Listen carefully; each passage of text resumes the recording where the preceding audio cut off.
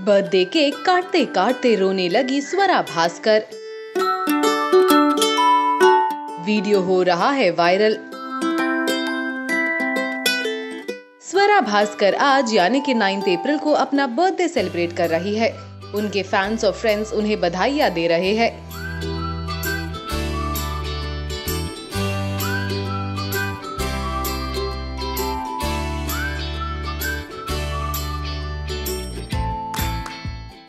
इस बीच उन्होंने अपने इंस्टाग्राम पर एक वीडियो शेयर किया है।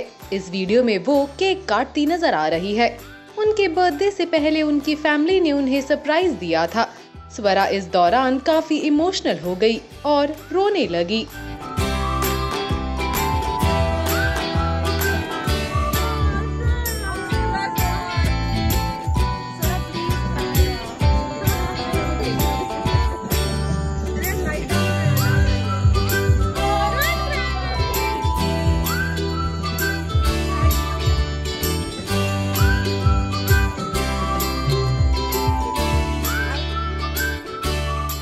भास्कर ने वीडियो शेयर करके लिखा है, मेरे पेरेंट्स और साथ काम करने वालों ने मेरी बर्थडे इवनिंग पर सेलिब्रेशन रखा था।